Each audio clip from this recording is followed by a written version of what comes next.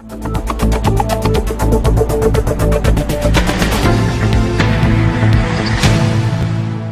ਸ਼੍ਰੀ ਅਕਾਲ ਸਾਰਿਆਂ ਨੂੰ, ਤੁਸੀਂ ਦੇਖ ਰਹੇ ਹੋ ਵਿਰਸਾ ਲਾਈਵ ਟੀਵੀ। ਕੁਝ ਰੁੱਖ ਮੈਨੂੰ ਪੁੱਤ ਲੱਗਦੇ ਨੇ ਕੁਝ ਰੁੱਖ ਲੱਗਦੇ ਨੇ ਮਾਵਾਂ ਕੁਝ ਰੁੱਖ ਨੂਹਾਂ ਧੀਆਂ ਲੱਗਦੇ ਕੁਝ ਰੁੱਖ ਵਾਂਗ ਭਰਾਵਾਂ।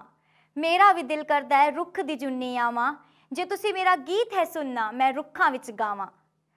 ਮਨੁੱਖ ਜ਼ਿੰਦਗੀ 'ਚ ਰੁੱਖਾਂ ਦੀ ਅਹਿਮੀਅਤ ਨੂੰ ਪੰਜਾਬ ਦੇ ਸ਼ਿਵ ਕੁਮਾਰ ਬਟਾਲਵੀ ਨੇ ਬੜੇ ਹੀ ਸੋਹਣੇ ਅੱਖਰਾਂ 'ਚ ਪਰੋਇਆ ਹੈ।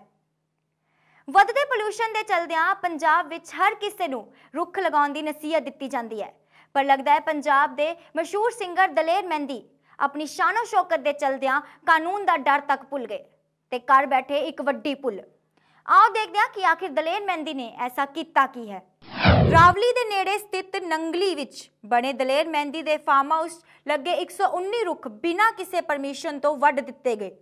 ਇਸ ਦੀ ਖਬਰ ਜਿੱਦਾਂ ਹੀ ਵਨ ਵਿਭਾਗ ਨੂੰ ਲੱਗੀ ਤਾਂ ਵਿਭਾਗ ਵੱਲੋਂ ਦਲੇਰ ਮਹਿੰਦੀ ਤੇ ਕਾਰਵਾਈ ਕਰਦੇ ਹੋਏ ਉਸ ਤੇ 88840 ਰੁਪਏ ਦਾ ਜੁਰਮਾਨਾ ਲਗਾਇਆ ਗਿਆ। ਇਸ ਦੇ ਨਾਲ ਹੀ ਵਿਭਾਗ ਵੱਲੋਂ ਇਹ ਨਿਰਦੇਸ਼ ਵੀ ਦਿੱਤੇ ਗਏ ਕਿ ਹੁਣ ਇਸ ਘਾਟੇ ਬਦਲੇ ਦਲੇਰ ਮਹਿੰਦੀ ਨੂੰ 10000 ਬੂਟੇ ਵੀ ਲਗਾਉਣੇ ਪੈਣਗੇ।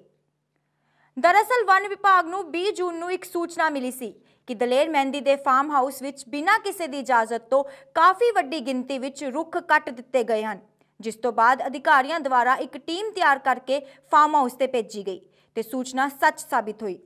ਦਲੇਰ ਮਹਿੰਦੀ ਦੇ ਫਾਰਮ ਹਾਊਸ 'ਚ ਲੱਗੇ ਕਰੀਬ 119 ਰੁੱਖ ਵੱਡੇ ਗਏ ਸਨ, ਜਿਸ ਤੋਂ ਬਾਅਦ ਪੀਐਲਪੀਏ ਯਾਨੀ ਕਿ ਪੰਜਾਬ ਲੈਂਡ ਰਿਜ਼ਰਵੇਸ਼ਨ ਐਕਟ ਦੇ ਤਹਿਤ ਕਾਰਵਾਈ ਕੀਤੀ ਗਈ ਤੇ ਜੁਰਮਾਨੇ ਦੀ ਰਕਮ ਤੈਅ ਕੀਤੀ ਗਈ।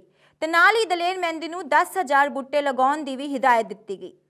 ਦੱਸ ਦਈਏ ਕਿ ਦਲੇਰ ਮਹਿੰਦੀ ਵੀ ਇਸ ਸੰਬੰਧੀ ਸੋਸ਼ਲ ਮੀਡੀਆ ਤੇ ਪੋਸਟ ਪਾਉਂਦੇ ਹੋਏ ਨਜ਼ਰ ਆ ਰਹੇ ਹਨ।